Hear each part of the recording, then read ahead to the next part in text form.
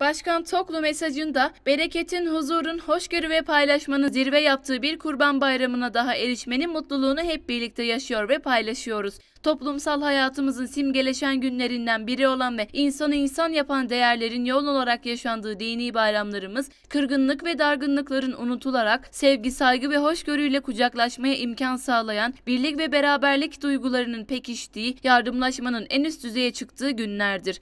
Ne mesafeler ne imkansızlıklar bayramın coşkusuna engel olamaz. Gönüller bir oldukça mesafeler kısalır. Kardeşliğin doğduğu, sevgilerin birleştiği, bereketin arttığı, paylaşmanın mutluluğudur bayramlar. Bu duygu ve düşüncelerle tüm halkımızın Kurban Bayramı'nı en içten dileklerimle kutluyorum. Mübarek Kurban Bayramı'nın ülkemize, İslam alemine ve tüm dünya ülkelerine huzur ve barış getirmesini temenni ediyor. Bu vesileyle aziz şehitlerimize Allah'tan rahmet, kahraman gazilerimizi minnetle anıyorum dedi.